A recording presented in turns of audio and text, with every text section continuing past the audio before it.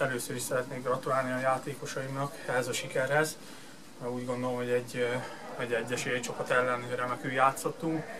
Azt kell, hogy mondjam, hogy szinte helyzet nélkül tartottuk a vendégeket. Nem volt kidolgozott helyzetük a mérkőzésen. Talán két veszélyes szögletük volt, meg egy pontrúgás, amiből sajnos gólt kaptunk. Ezekre jobban oda kell figyelni majd, de szerintem nagyon jól játszottunk, tényleg büszke vagyok a srácokra. Amit megbeszéltünk, azt maradéktalanul betartották, fegyelmezetten védekeztünk, előrefelé pedig úgy gondolom, hogy veszélyesek voltak a kontráink, a másik félidő biztos voltam benne, hogy gólt fogunk rúgni, és ezzel a döntetlennel sikerült tovább jutnunk, aminek nagyon örülünk, várjuk a következő ellenfelet, és készülünk a tavaszi folytatásra. A Vakkerti csapatnak sok sikert kívánok a bajnokságban. Egy, azt mondom, hogy egy stabil kis csapattal játszottunk, akik megfelelően agresszíven játszottak, nem nagyon akartak játszani,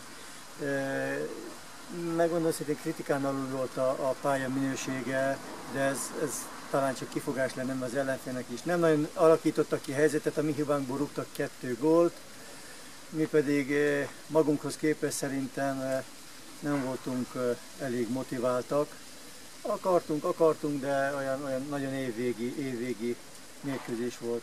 Éppen 11-en vagyunk, ez, csak, ez nem, nem akarok kifogásokat, de én azt gondolom, hogy le kellett volna hozni ezt a mérkőzést még így is, hogy nem játszottunk úgy, ahogy szoktunk.